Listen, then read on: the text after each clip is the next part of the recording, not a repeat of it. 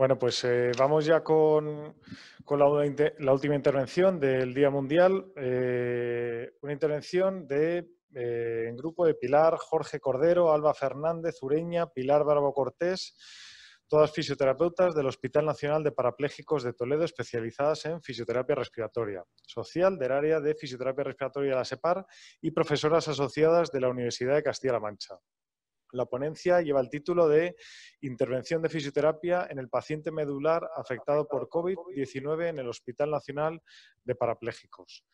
Eh, no sé si nos escucha Alba. Gracias, nos, escucháis.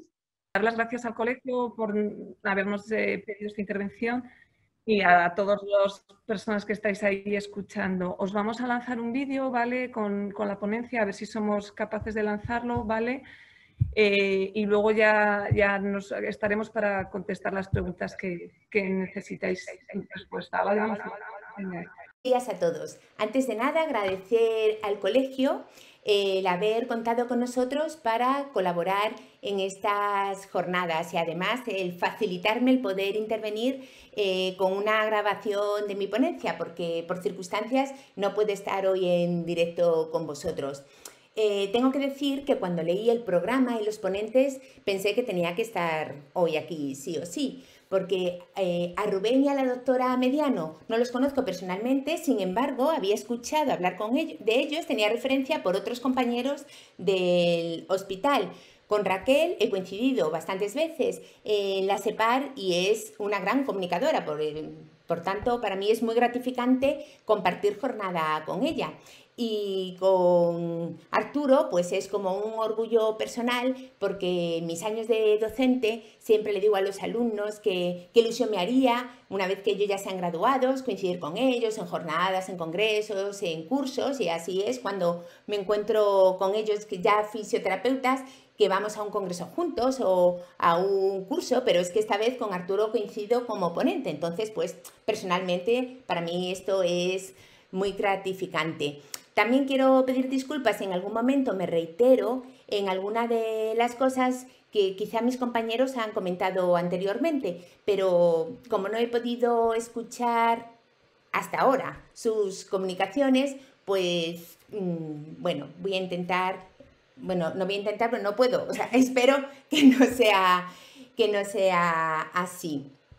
Eh, y espero que esta intervención en la que yo voy a explicar la experiencia desde nuestro tratamiento, o sea, desde nuestro hospital con este tipo de pacientes, bueno, pues que sea positiva y que pueda aportar algo a todos vosotros. vosotros. El de parapléjicos es un centro monográfico de rehabilitación integral para la persona con lesión medular y también control de la lesión medular crónica. Es un hospital pequeño, tan solo tenemos 212 camas y se considera un hospital de media larga estancia. Eh, la incidencia que hemos tenido de pacientes con COVID ha sido muy baja, tan solo hemos tenido 12 pacientes en la primera ola y ahora pues eh, actualmente tenemos otro paciente, otro paciente más. Esta incidencia baja probablemente sea a que el paciente para estar allí y contagiado tiene que pasar dos filtros. Por una parte tiene que ser lesión medular, porque solamente tratamos este tipo de pacientes y después además tiene que contagiarse, por lo cual es normal que la incidencia haya sido mucho más baja que en otros, que en otros hospitales. El primer caso de COVID-19 en nuestro hospital fue diagnosticado el 17 de marzo. A partir de aquí, todos los pacientes con diagnósticos de COVID positivo eran trasladados a una planta concreta con un, lugar adecuado y mm, personal dotado de medidas de protección. Además, desde el hospital se adoptaron diferentes otras, otras medidas adicionales. Por una parte, se intentó evitar el tránsito de los pacientes por las instalaciones del hospital. Entonces, se cerraron todas las zonas de terapia con lo que los fisioterapeutas, nuestros compañeros, tenían que ir a tratar a las habitaciones de los pacientes. La fisioterapia es fundamental en el tratamiento del lesionado medular. Tuvimos la suerte de que los pacientes no, no tuvieron que interrumpir sus tratamientos. Evidentemente, algunas terapias como hidroterapia, electroterapia o reeducación de la marcha con el Locomat, pues sí que tuvieron que suspenderse, pero el resto del tratamiento se pudo realizar. También se seguía haciendo fisioterapia respiratoria, pero es que la fisioterapia respiratoria se hacía y se sigue haciendo en las habitaciones de los, de los pacientes. Estos pacientes que se trasladaban a esta área eh, aislada eh, se mantenían allí hasta que el paciente diese, positivo, diese negativo y 14 días más. ¿Por qué? Porque eh, después de ser negativo se recomendaba, cuando se daba el alta hospitalaria, se recomendaba quedarse aislado en sus casas otros 14 días más, pero estos pacientes no se iban de alta a su domicilio, sino que iban a las zonas de hospitalización con el resto de los pacientes.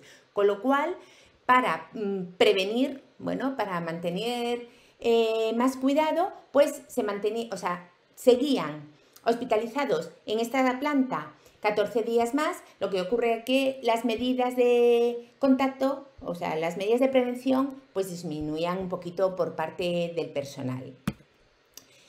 También muchos de los pacientes que estaban medianamente estables y con cierta eh, independencia, se les dio de alta temporal a su casa. Eh, frente a esta situación, la intervención que hicimos los fisioterapeutas fue grabar pequeños vídeos con ejercicios o consejos para que ellos siguieran realizando en sus domicilios.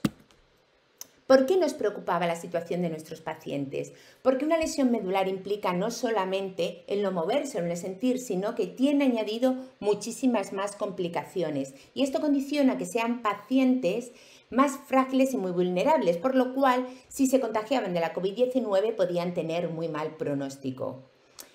Además, nuestros pacientes presentan inmunosupresión y autoinmunidad. Eh, esto les hacía ser más vulnerables todavía, pero sobre todo lo que nos preocupaba era la disfunción respiratoria neuromuscular que tienen. ¿Qué ocurre con esta disfunción respiratoria? Igual que afecta a otros músculos, la lesión medular de miembros inferiores, superiores o del tronco también afecta a la musculatura respiratoria. La debilidad o afectación de la musculatura respiratoria implica que los pacientes puedan movilizar menos volúmenes, que sus capacidades y volúmenes estén reducidos. A la vez, al no realizar inspiraciones profundas, la complianza pulmonar también se ve alterada. Y a la vez también la eh, complianza torácica, porque al no realizar inspiraciones, expansiones profundas, las articulaciones costoesternales y costovertebrales se van quedando cada vez más rígidas. La afectación de la musculatura expiratoria, ¿qué implica? Pues que los flujos expiratorios sean, estén bastante disminuidos, con lo cual esto afecta al mecanismo de la tos, propiciando que tengan mayor retención de secreciones. Y por otra parte, eh, la alteración del sistema simpático, la disautonomía, también lleva a un aumento de secreciones y eh, aumento del tono bronquial, con lo cual nos encontramos que el paciente lesionado medular tiene una disminución de la capacidad vital, una disminución de la complianza, de la expansión torácica, una tos nada efectiva y un aumento de secreciones y de tono bronquial. Esto lleva a que el paciente tenga bastantes complicaciones.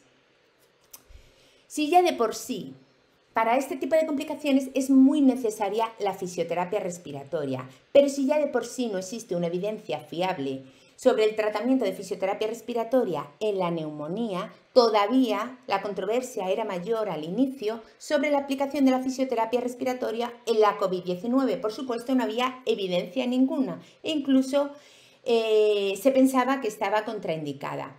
Esto, la principal razón para abstenerse de su aplicación es que muchas de las técnicas generaban aerosoles y todavía favorecen más la transmisión de esta enfermedad que ya de por sí es muy contagiosa. En marzo salió publicada una guía de manejo clínico de estos pacientes por parte de diferentes sociedades médicas en las que se decía que debían minimizarse todas aquellas intervenciones que pudiesen producir aerosoles, aunque de forma explícita no nombraba eh, la fisioterapia respiratoria ni la consideraba como el procedimiento de riesgo, desde la CEPAR se comunican que debería incluirse porque nuestras eh, intervenciones tienen bastante riesgo de aerosolización. Además, las pocas publicaciones que había hasta el momento desaconsejaban la fisioterapia respiratoria.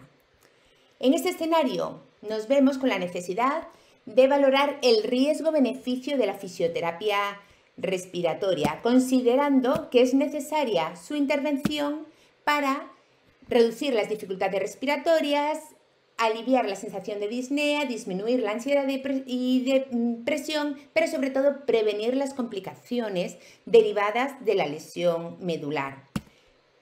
Paralelo a esto, se publica una guía australiana en la que sí que está recomendada la fisioterapia respiratoria, se justifica su uso en estos pacientes con COVID-19 positivo o sospecha de ello, que además tengan como eh, comorbilidad una enfermedad neuromuscular como puede ser la lesión medular.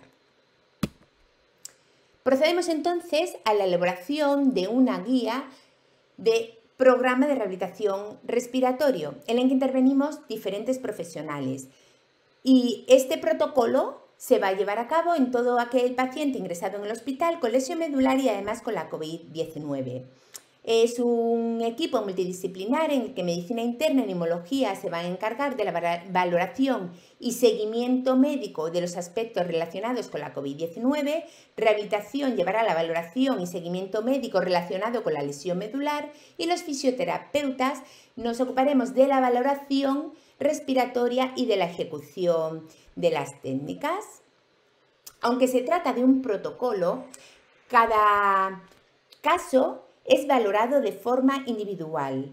Y antes de cualquier intervención, siempre leemos la historia clínica del paciente y se realiza una valoración respiratoria a diario para adaptar las técnicas al, caso particular de cada uno. Este protocolo es enviado a ISCOS, que es la Asociación Internacional de Lesión Medular, dedicada al estudio y tratamiento de las lesiones y que pertenecen a ella profesionales de cerca de 90 países. Y aquí tenemos nuestra guía, nuestro protocolo en versión inglesa. ¿En qué consiste el programa? Pues comenzamos muy importante con el control postural. Todos los profesionales que trabajan en el Hospital Nacional de Parapléjicos sabemos la importancia de los cambios posturales para evitar las úlceras por presión. Se realizan sistemáticamente cada tres, eh, cada tres horas en todos los pacientes que están encamados, alternando el decúbito supino con los decúbitos laterales. Si el lesionado medular ya de por sí tiene muchas horas de encamamiento, todavía lo ha sido más con la COVID-19, por lo que estas medidas han sido todavía más, más exquisitas. Eh, me ha gustado encontrarme en otras guías los cuidados y tanto detalle eh, que se ha tenido con la posición de prono. Bien, pues igual de importante, igual de importante es eh, los cuidados que tenemos que tener con este paciente con movilidad reducida, no solamente lesionado medular, sino todos los pacientes críticos, todas estas polineuropatías post-COVID que nos estamos encontrando, bien, es fundamental los cambios posturales. Y esto es papel también del fisioterapeuta. No solamente es cuidar que no tengamos un fleso de codo, de cadera o un pie equino. Esto es muy importante, pero más aún no tener una úlcera por presión. Eso va a alargar y empeorar el pronóstico notablemente no solamente por las úlceras por presión vamos a tener estos cambios posturales, sino que también nos van a ayudar, nos, perdón, también nos van a ayudar a mejorar la relación ventilación-perfusión. De hecho, muchas veces, en caso de neumonías unilaterales, pues podríamos incluso evitar uno de los laterales. También vamos a utilizar los cambios posturales durante nuestro tratamiento, dependiendo del objetivo que queramos conseguir de arrastrar secreciones, movilizar secreciones o de respandir. Siempre que podíamos, si la situación clínica y el nivel de lesión lo permitiese, sobre todo eh, la situación clínica del paciente, íbamos a verticalizarlos a diario, o bien con el cabecero de la cama, o bien sedestándolos en sus sillas de ruedas.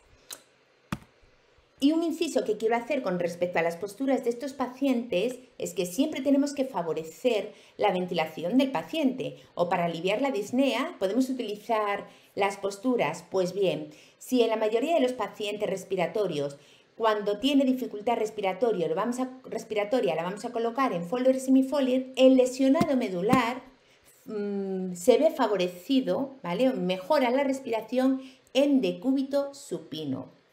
Fijaros aquí cómo la capacidad vital forzada en sedestación es menor, es menor que en decúbito supino. Por lo tanto, un lesionado medular con dificultad respiratoria, pues vamos a ponerlo en horizontal en lugar de levantarlo. Continuamos con el programa movilizaciones, ¿vale? Las movilizaciones las realizábamos a diario. Siempre intentábamos favorecer la medida de lo posible eh, movilizaciones activas, pero claro, nuestros pacientes son lesionados medulares, la mayoría de ellos, como os voy a contar después, la mayoría de estos pacientes infectados son pacientes cervicales, con lo cual pues muchas veces tenía que primar o teníamos que realizar ejercicios o movilizaciones pasivas o activo, eh, o activo asistidas. Y también realizábamos a diario, esto realizamos cuatro intervenciones al día, dos por la mañana, dos por la tarde, realizamos intervenciones cortas para evitar que el paciente se fatigase, ya lo que son técnicas de fisioterapia respiratoria más concretas. Entonces, en cuanto a las técnicas de higiene bronquial, aunque se sabe que la neumonía que caracteriza a la COVID-19 es, no es, es, no es sudativa, eh, según los estudios son, muestran resultados muy heterogéneos. Hay algunos en los que ni siquiera aparece la expectoración como síntoma y en otros llega al 72%. Indistintamente que produzca secreciones y que sea, eh, sea conveniente aplicar las técnicas o no aplicarlas, recordad que el lesionado medular tiene mucha dificultad para el manejo de secreciones, con lo cual están eh, justificadas este tipo, está justificada este tipo de técnicas. Como hemos dicho antes, lo vamos a adaptar a las características del paciente, con lo cual movilizaremos secreciones con diferentes técnicas del GOL, LPR, eh, drenaje autógeno, mm, la técnica que veamos, que consideremos en ese momento que es necesaria y después o bien asistiremos la tos o en muchos casos necesitaremos aspirar las secreciones. Luego contaré qué medidas tomábamos a la hora de aspirar, ¿no? Qué medidas preventivas utilizábamos en la aplicación de nuestras técnicas. Bien, si el paciente tiene secreciones, vamos a realizar técnicas de higiene bronquial, pero también vamos a realizar en todos técnicas de reeducación. ¿Qué queremos? Conseguir distender ese pulmón, ¿vale? Queremos hacer técnicas inspiratorias alto volumen, inspiraciones profundas. Esas técnicas van encaminadas a mejorar la distensibilidad pulmonar, la expansión torácica y prevenir las atelectasias. La atelectasia es la complicación más frecuente del lesionado medular. No hay evidencia de que estas técnicas funcionen en la fase aguda, o sea, que hay evidencia en la fase aguda de la COVID-19, pero es que hay muy poca evidencia de todas las técnicas de la COVID-19, como es, lógico, pero vamos a pensar en lesionado medular. El lesionado medular las va a tener muy indicadas porque ya hemos dicho que es muy restrictivo y que va a cursar con una disminución de la complianza y de la expansión torácica. Pero además, Gattinoni describe que existen dos tipos de fenotipos de esta enfermedad y podría ser en este fenotipo tipo 2 en el que la complianza es baja, eh, que tiene un pulmón muy reclutable, en el que se mueven muy pocos, muy pocos volúmenes, esto es un pulmón muy parecido al pulmón de lesionado medular, pues que este tipo de técnicas en este tipo de paciente, pues que sea bastante efectiva.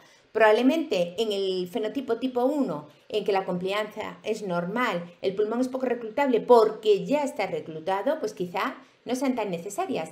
Pero el fenotipo tipo 2 y en el paciente lesionado medular, pues sí va a ser muy efectiva. Ya decimos, ya he dicho que van a ser, bueno, siempre vamos a intentar hacer las técnicas pocas repeticiones porque van a ser más intervenciones con la idea de no fatigar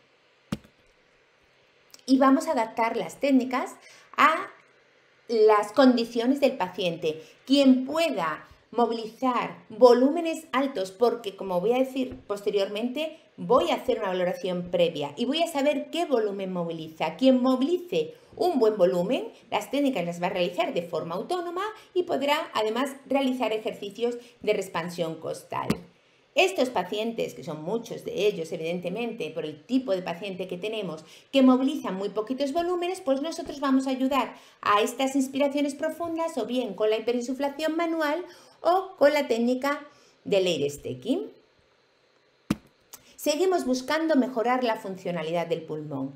¿Qué vamos a trabajar? Pues técnicas de presión expiratoria positiva. Estas técnicas se demuestra que previenen el cierre alveolar y mejora la capacidad residual funcional. Esto a nosotros nos ayuda mucho, pero además mejora el intercambio gaseoso, que esto es eh, muy visible, puesto que el paciente va a estar con el pulsiosímetro vamos a ver cómo realizando las técnicas va a subir uno o dos puntos su saturación mientras que la realizamos. Y además va a ayudar a mejorar la disnea.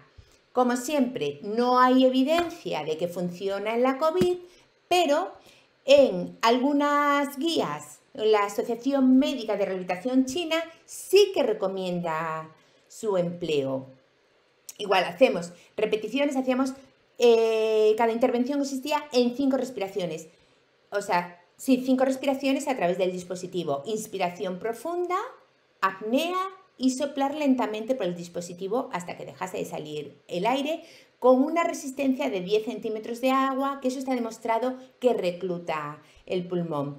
Nuestros pacientes que no podían hacer inspiraciones profundas previas, pues nosotros le ayudábamos, como hemos dicho antes, con la técnica del air staking. Le ayudamos a la inspiración profunda, hacia la apnea y a continuación soplaban a través del dispositivo.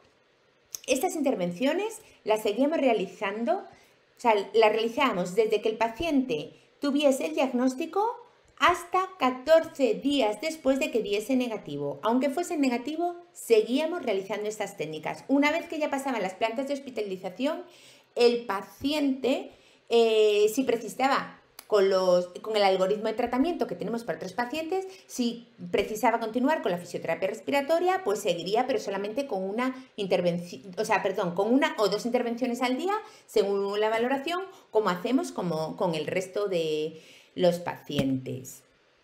Bien, ¿qué teníamos en cuenta a la hora de tratar para empezar el tratamiento o parar? Bueno, pues que el paciente no mostrase una fatiga por encima de 3 en la escala de voz modificada. Esto después en pacientes post-COVID eh, se ha visto y bueno, se recomienda que lleguen a una, a una valoración más alta, pero inicialmente esta guía de rehabilitación china consideraba que era 3 y nosotros pues así lo hicimos. Que no tuviese fiebre por encima de 38, una frecuencia respiratoria por debajo de 30, y que no tuviese un malestar como presión en el pecho, mareo, dolor de cabeza, bueno, en general valorar. Y esto lo valorábamos en cada, en cada intervención. ¿Qué medidas de protección adoptábamos durante la aplicación de estas técnicas? Por supuesto, LEPI, que no tengo que contar, ya no lo sabemos todos, no tengo que hablar nada de, ello. Además, los pacientes en todo momento, durante nuestro tratamiento, llevaban mascarilla, mascarilla quirúrgica que solamente se la quitaban pues, para realizar las técnicas, por ejemplo con el PEP, pero en el PEP iba acoplado un filtro antibacteriano para que cuando soltase el aire pasase por el filtro. O si teníamos que realizar técnicas con el ambú, el ambú también llevaba acoplado un filtro antibacteriano. En el caso de tener que aspirar secreciones, eh, en un momento la cánula quedaba abierta, no, teníamos, no tenemos sistema de aspiración cerrado, de todos modos, ninguno de los pacientes ha estado conectado a la ventilación mecánica. Algunos sí, pero justamente el diagnóstico ha sido cuando hemos conseguido, justamente al finalizar el destete. Entonces ya tenía cánula de traqueostomía, pero sin ventilación mecánica. Entonces, el sistema de aspiración no era cerrado, era abierto, pero siempre aspirábamos a través del intercambiador de calor y humedad. Del filtro que hacía de, filtro. Eh, como digo, no destapábamos. Y en el caso de que el paciente tuviese neumotaponamiento, el neumotaponamiento estaba hinchado, para que no hubiese posibilidades de que la secreción subiese, o sea, la secreción, el aire o que exhalara por, por nariz o boca. ¿Qué datos se recogían? Los médicos ya hemos dicho que recogían sus datos, pero a nivel de fisioterapia, ¿qué pretendimos? Pues para que hubiese el menor sesgo posible a la hora de las valoraciones, eh, pues que las valoraciones las realizase el mismo fisioterapeuta. Bien, entonces eh, trabajamos, hemos mm, trabajado, hemos sido tres los fisioterapeutas que hemos trabajado con estos pacientes. Entonces intentamos que fuese el mismo fisioterapeuta durante una misma semana, ¿no? Para que hubiese menos, menos, o sea, menos sesgo a la hora de evaluar. Aún así, eh, repasamos siempre juntas mm, los criterios y la valoración, cómo debemos hacerlo, ¿no? Para que difiera lo menos posible. Y estas valoraciones las hemos hecho a diario, antes de nuestra primera intervención de fisioterapia. Eh, además, antes de cada intervención registrábamos la saturación, frecuencia cardíaca y frecuencia respiratoria porque si estaba demasiado elevado, o sea, porque dependiendo de estas variables podía ser una de las causas de no empezar el tratamiento. ¿Y qué valorábamos? Pues el aporte de oxígeno, ¿vale? Es decir, la FIO2, aunque realmente no marcamos la FIO2, sino los litros de oxígeno que tenía, porque todos han sido sistemas de bajo, de bajo, flujo, de bajo flujo. La saturación de oxígeno, frecuencia cardíaca, frecuencia respiratoria y medíamos capacidad inspiratoria con este dispositivo que es un ventilómetro que también tenía por supuesto un filtro antibacteriano individual para cada uno de ellos y después de su uso se esterilizaba correctamente. ¿Por qué decidimos valorar capacidad inspiratoria en vez de hacer una espirometría? Bueno, pues eh, primero, este dispositivo, la espirometría es un procedimiento más complicado para un paciente, no vamos a realizar una espirometría diaria, serán personas mayores, muchos de ellos traqueostomía, el espirómetro portátil que nosotros tenemos no se puede acoplar a una traqueostomía y este dispositivo sí lo podemos acoplar, ¿vale? Quizá la maniobra de capacidad vital forzada no la realizan bien, pero una capacidad inspiratoria en que yo le digo, coge todo el aire que puedas, eh, pues es más fácil. Y además, mm, preferimos que fuese, como realmente no queríamos ver la capacidad eh, la capacidad vital, sino lo que queríamos valorar era si teníamos un deterioro de la función respiratoria y con una capacidad inspiratoria pues lo podíamos valorar.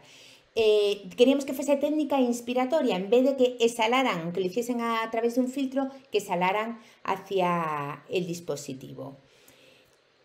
Bien, valorábamos también la escala de disnea, teníamos pues una tabla con, con la escala de Borg modificada, plastificada que enseñábamos al paciente y pues con unos dibujitos que era más fácil que ellos lo entendieran. Eh, valorábamos el confort, cómo se encontraba el paciente, a través de la escala de Likert. Esto también, bueno, no solamente es que se encontrase con el malestar físico, sino este muchas veces pues era la depresión y ansiedad que el paciente tenía, sobre todo por en la situación de aislamiento. Y también reflejábamos el tratamiento realizado, si realizábamos las técnicas de inspiración y expiración o no se realizaban para saber el número de intervenciones que realizábamos cada día, si se realizaba eh, higiene bronquial, la causa de no empezar el tratamiento o por el que parábamos el tratamiento, creo que no he comentado que una, bueno, o sí, que una de las causas por las que paramos es la tos. Es que realmente nuestros pacientes no han tosido mucho, como luego comentaré, pero una paciente en concreto, pues muchas de las intervenciones no pudimos hacer, bueno, pues porque se provocaba tos, entonces no lo realizábamos. Y también describíamos eh, las movilizaciones que realizábamos. ¿Qué hemos encontrado después de esta primera ola? ¿Qué hemos visto en nuestros pacientes del hospital? Pues estos datos que yo os estoy enseñando es una publicación de los siete primeros pacientes que tuvimos. Estos eran pacientes que estaban hospitalizados porque los cinco restantes ya ingresaron con eh, diagnóstico de COVID. Tenían lesión medular, pero ya sabíamos cuando eran trasladados desde su otro hospital que tenían diagnóstico de COVID. No están incluidos en este estudio que yo os estoy demostrando, pero sí que he hablado con el médico que se ha encargado de esta publicación tiene actualizados los datos, lo que pasa es que no tiene la publicación, por eso no la he podido poner y no difieren para nada eh, los datos de estos, estos resultados iniciales, ¿vale? Entonces, el perfil de paciente que hemos tenido, pues ha sido de varón mayor de 60 años, con una lesión medular cervical hacia A, traqueostomizado y dentro de los tres primeros meses de evolución. ¿Qué encontramos eh, especial? Bueno, pues que los han presentado menos síntomas que la población en general. La mayoría de nuestros pacientes han presentado dos síntomas o menos. Y los síntomas principales han sido la fiebre en todos ellos y la astenia. Esto difiere de la población general o de otras series de casos en las que ha sido fiebre y tos. Nuestros pacientes, ya digo que tan solo uno de los pacientes ha referido tos. Y no es por tener alterado el mecanismo de la tos, no. Nuestros pacientes no tienen alterado el mecanismo de la tos, no tienen una tos efectiva, pero sí que pueden tener una tos, lo que pasa que no sea efectiva. O sea, el reflejo de la tos lo conservan por la lesión, por la lesión medular. Bien, ¿Qué hemos visto también? Que a pesar de ser tan poco sintomáticos, a través de la MUSE, que es una escala que valora los pacientes en riesgo de deterioro, ¿vale? Estos, esta escala eh, lo que nos dice es que en el diagnóstico tenían una afectación grave. Bien, entonces nos encontramos que presentan pocos síntomas, pero sin embargo la afectación es grave. El 70% de los pacientes han presentado neumonía. La mayoría de ellos neumonía bilateral y esto concuerda con el resto de, vamos, con la población, con la población general. Está claro que esto es una serie de casos y que hablamos de estos resultados que eh, es un número limitado de pacientes. Pero otra serie de casos publicado en un hospital eh, italiano en la que se contagiaron 15 de los 25 pacientes ingresados. También es un eh, hospital de lesión medular, con lo cual, pues creo que las medidas preventivas en nuestro hospital han sido buenas porque, mm, bueno, los contagios han sido menores y tenemos muchísimos más pacientes ingresados. Bueno, pero ¿qué demostraron? Que los síntomas igualmente, o sea que la, a pesar de tener muchas más comorbilidades, bastante más riesgo, igual que nuestros pacientes, sin embargo, eh, eh, los síntomas fueron muy semejantes a la población general. En este estudio en concreto se comparó con los eh, con el personal, con los trabajadores de este mismo, desde este mismo hospital eh, afectados por la COVID-19. Por lo tanto, estos presagios tan pesimistas que teníamos todos, porque todos los que trabajamos en el hospital decíamos, madre mía, cuando empiece el primero van a ir cayendo uno tras de otro, bueno, pues afortunadamente estamos equivocados porque las, las personas con lesión medular no presentan peor pronóstico que la población general en estos casos concretos, que son pacientes ingresados y son pacientes más agudos. Tenemos conocimiento de otros pacientes crónicos ya dados de alta que han fallecido. Bueno, mis compañeras harán, os comentarán ahora por qué podría ser debido. Esto se está estudiando, es interesante, pero bueno, en cualquier caso no, no han empeorado.